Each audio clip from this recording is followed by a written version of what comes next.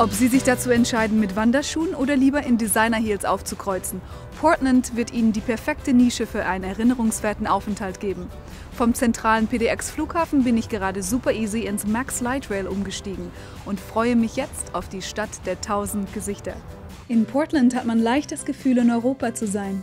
Im Pioneer Courthouse Square, der auch Portlands Wohnzimmer genannt wird, tobt das Leben.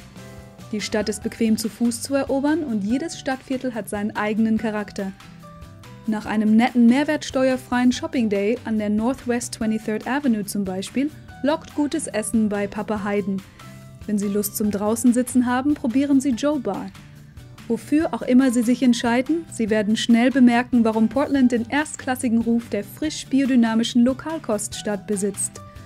Mit über 50 Brauereien und mehr Brauereikneipen pro Kopf als jede andere Stadt in den USA ist Portland eine der Bierhauptstädte der Welt. Hier im Washington Park mietet man sich am besten ein Fahrrad oder man wandert durch Hoyt Arboretum und Forest Park. Der weitreichende Washington Park ist nur ein paar Minuten westlich von Downtown Portland entfernt. Sein japanischer Garten hat den Ruf, einer der besten japanischen Gärten außerhalb Japans zu sein. Bestaunenswert ist außerdem der wunderschöne Rosengarten, der im Jahr 2006 den Garden of Excellence Award erhielt. Egal zu welcher Jahreszeit, Portlands Hafengebiet und das River Place Viertel bieten herrliche Aussichten und Aktivitäten für Festivalliebhaber, Nachtschwärmer, Fahrradfahrer und Schiffsbegeisterte. Auf der gegenüberliegenden Seite der Brücke können Sie eine Reihe von Brennereien, Kellereien und Brauereien besichtigen. Naturliebhaber sollten außerdem die Columbia River Schlucht besuchen, die Heimat des Multnomah Falls mit 191 Metern, der höchste Wasserfall Oregons. Wer sich in Portlands berühmte Food Cart Kultur stürzen möchte, beginnt am besten bei der Elder Street an der 10. Avenue. Hier lassen sich Geschmäcker aus so ziemlich jedem Land kosten.